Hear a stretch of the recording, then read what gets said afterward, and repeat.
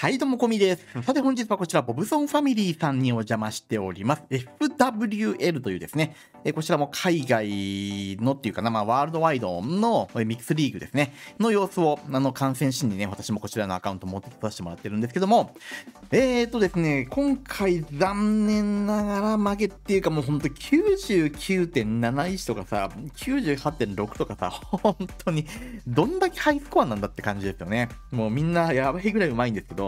えーとですね、今日はこの中から、ダンフル12、13を題材に、えっ、ー、と、スマッシュ系戦術の小技的なところっていうのをお話ししたいというふうに思います。まあ、あの、スマッシュってそもそも何っていうと、中華式みたいなね、ペッカスパビスとか、あとスーパーボーラーとか、イエティボーラーとかね、えー、あの重量級のユニットをもう村のど真ん中に壁ゴリゴリ開けながら、まあ、ジャンプとか使ってもいいんですけど、一気にドバーッとこう流し込んでいく。まあ、こういう戦術を、まあ、スマッシュっていう風に、まあ、あの広く言うんですが、あのその中でですね、やっぱ序盤ってグランドウォーデンのおでひから入っていくパターンが主なんですね。まあ、どんな風な形なのかっていうと、えー、こういうのをですね、えっと、これ、おばちゃんさんの、えー、とこのアタック。あの、投石機ね、この位置にある投石って、まあ一応ストレージが目の前にこう2個あるんですけど、あの、グランドボーデンで射抜けるんですよね。射抜けるっていう風が正しいのかな。叩き折れるっていうのかわかんないけど、まあまあ細かいところはあれか。オーデン出して、で、グランドボーデンにヒーラーをつけたこのおでひっていう形ですね。対空砲の枠、アチャトの枠からもちゃんとね、えー、ヒーラーが外れるようにこう出している。この辺のテクニックうまいですね。ウィザードでカットをしながらきっちり、えー、迫撃を狙っていくわけなんですけども、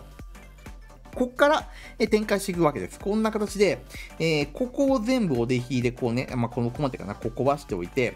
こちらからドーンとね、ペッカスパビズを流し込んでいく、こういうところですね。っていう戦術ですね。で、こっち側に関しては、まあ、10日弊社とかで、えっ、ー、と、あ、違うわ。えっ、ー、と、これの場合、どれだったっけな。ババキンとロイヤルチャンピオンか。で、潰していくっていう感じになりますね。で、えー、っと、これね、あの、お弟子でやっぱりやるの、何がいいかって、えー、っと、区画の奥までね、カットができるんですね。これ、食い火だと、この、えー、っと、透析って届かないじゃないですか。えっと、食い火って、えっと、ここにね、え3枠の施設があって、プラス1枠こう隙間があると、その奥って届かないんですよ、これ。でも、お手ひ届くんですよね。届いちゃうから、これができるっていうわけなんですよ。これすごいですよね。っていうことで、相手の主力の防衛も壊せること、もう、まあ、それもさることながら、サイドカットの効果でかいんですよね。この投石が壊れてるから、横打ちもされないし、ユニットもそれないしっていうことで、まあ、相当その後出していく、まあ、スマッシュの主力部隊、今回で言えば、ペッカスパリですね、中華式の本体が、綺麗にね、真ん中の方にゴゴゴゴっとこう入っていく、そんな形が作れるわけですね。一瞬それかけて、っていうか、まあ、ペッカはもう、ほぼほぼそれましたね、これは。ただまあ中央部分にアーチャークイーンが入っていってくれていて、これがロイヤルチャンピオンを倒しながらタウンホールに向かっていくという格好ですね。後ろから来たイエティもいい仕事しますね。フリースでタウンホールを止めると。で、その間にアーチャークイーンが進軍していきます。で、まあ、こんな風にね、あの、グランドオーデンのおでひから入れると、抹茶食いにヒーラーつける食いヒーと違って、あの、全然、えっ、ー、と、予想外の方向に、えっ、ー、と、歩いていっちゃって、逆走ってまあ言いますよね、食い火の場合。これがないっていう安定感。あとは、壁の中、奥の方まで削れるっていう、まあ、その、なんていうのかな、まあ、サイドカットプラス横打ち防止の効果が非常に大きいんですね。なので、えーと、こういうスマッシュ系戦術をする場合には、おでひから入るのが基本ですし、それがあのもう世界的にもう一般の的な技術っていうかな、いう形で使われていっています。ただ、えっ、ー、とですね、これね、やれないケースってあるんですね。なんかやってもあんまり美味しくないよっていうケースだったり、あのまあ、そもそも、えっ、ー、と、おでひに適さないあの配置っていうのもあるわけなんですけども、まあ、それに対してちょっとね、えー、と見てほしいのが、こういうね、プチクイヒーパターンですね。あの今回のケースで言うと、ここの、えーと、マルチインフェルノは、ライトニング4発プラスクエイクで折れちゃうじゃないですか、スパーンと。で、折れちゃうので、折っちゃって、で、その周辺をこう食い火でぐーっとね、回り込んでいきながら、ここからペッカスパリーズを流し込んでいって、食い火と合流させるという格好をとっていってます。で、こんな形ですね。クイーンを出して、ヒーラー出して、対空砲があるんでね、えー、少し多分これは、うんと、上、12時よりかからかな、出してたのかもしれないですね。ただこれちょっと本当は対空砲があっても、うん、迫撃の上ぐらいから出しててもよかったような気はします もしかしたら。はい。で、ベビドラでちゃんとこちらの17時をカットするんですが、この時点でやっぱね、ワンチャン、クイーンがこう、それるリスクはあるんですよね。だそこら辺っていうのがちょっとね、難しいところではあります。ただ、お手引では処理しにくい、このアーチャークイーン、この、これを食い火でこうね、処理することによって、この後出していく、あの、ペッカとスーパーウィザードっていうのが、アチャクに捕まってこの壁殴るとかね、まそういう事故が起きないんですよね。これがやっぱでかい。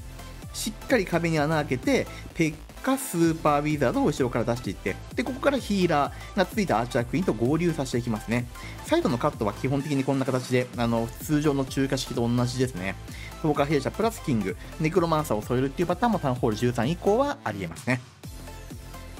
で、えっ、ー、とか、もうこれ、サイドカットがちゃんとできてるんですよ。カットがここがしっかりね、できてるので、それ用がないですね。ちゃんとこの真ん中に入っていく。こういう風に出ていっちゃうユニットがないわけですよね。なのでね、これが強い。で、アーチャークイーンがやっぱね、あの、相手のアーチャークイーンが、あの、ペッカとかを誘導しちゃうと、壁に変な穴開けたりするんでね、そういうこともないという、まあ、ところですよね。すんごい綺麗にはまってますね。これ、ペッカがだいぶ外周にこう、それは出しちゃったんですけども、まあ、それでおかげで、この大砲のね、竹とかを取ってくれている効果があって、後ろから来た援軍のこのホグライダーがめちゃいい仕事をしますね。で、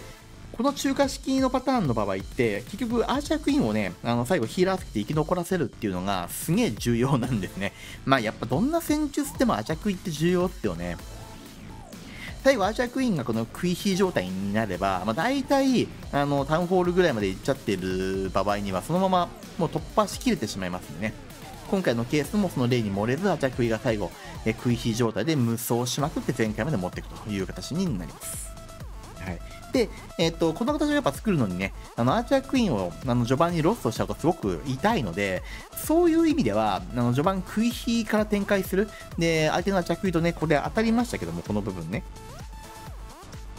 当たったけども、こういうのって結構リスキーではあるんですよ。だけど、やっぱ自分はもうスマッシュやるんだというふうに、えー、と考えていて、まあ、レジェンドなんかは特にこういうケースあるかもしれないですね。だったり、まあ、クラン対戦だったり、まあ、リーグにしても、なんだけど、ちょっとオデヒーやる場所あんまねえな、うまくねえなっていう時に、あのこういうクイヒーを使った、えー、入り方っていうのを、えっ、ー、と、試してみてもらうための、なんていうのかな、技の引き出しっていうのかな、を持っておくのって結構重要かなっていうふうに思ってます。僕もね、あのー、この12月に入ってからスマッシュをちょっと中心にやってみようかなと思っていて、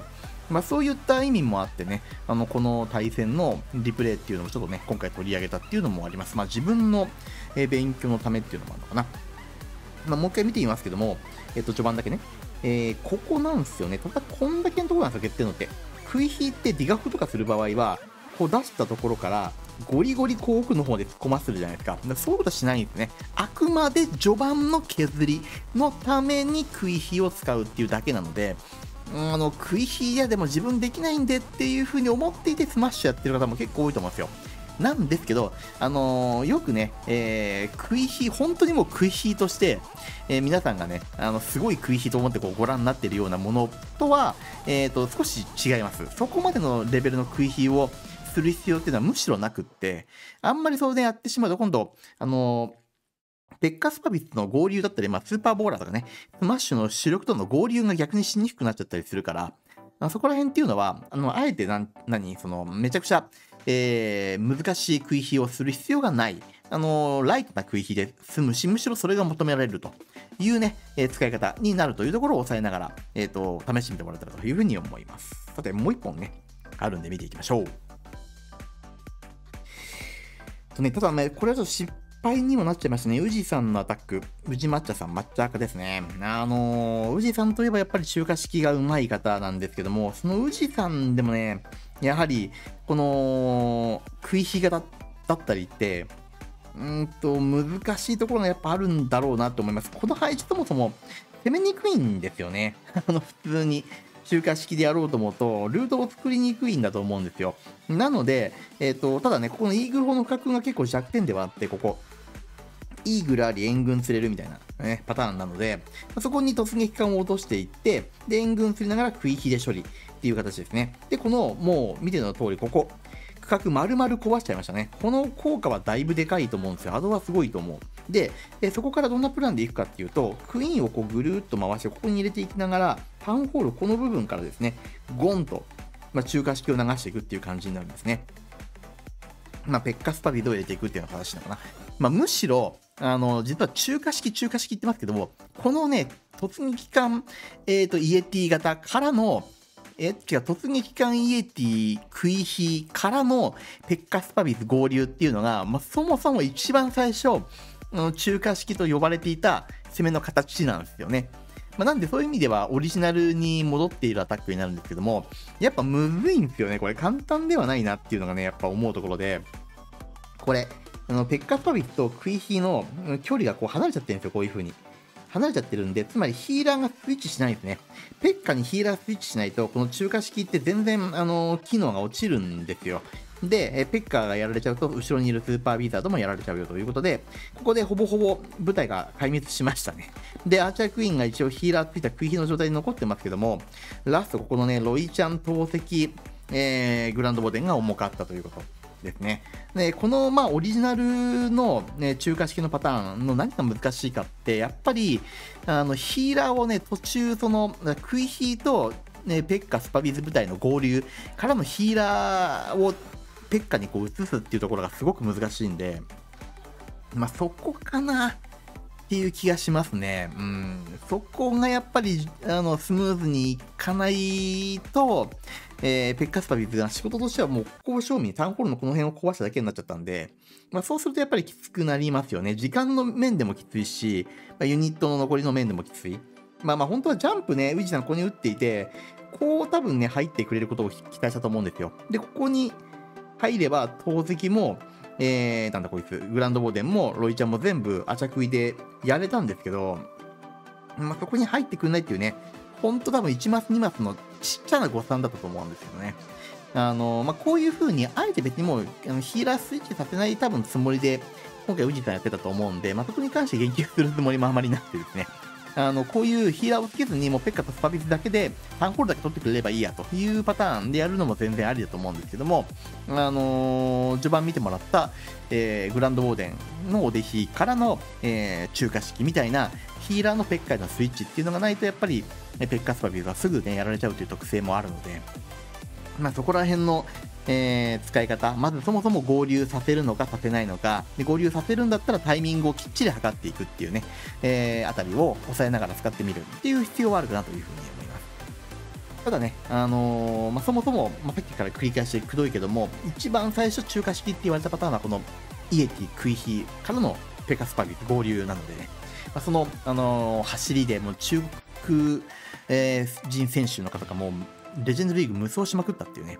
あの、歴史もあったり、それを使ったミス・エルテさんっていうね、日本の女性のプレイヤーの方かな？が、方っていうか、女性のプレイヤーの方が、あの、えっ、ー、と、グローバル1位かな？日本1位、どうしか忘れた？グローバルだったかもしれない。1位取ったっていうね。あの、そういう、もう実績の面では、だいぶ、えっ、ー、と、保証されているようなね、戦術になりますので、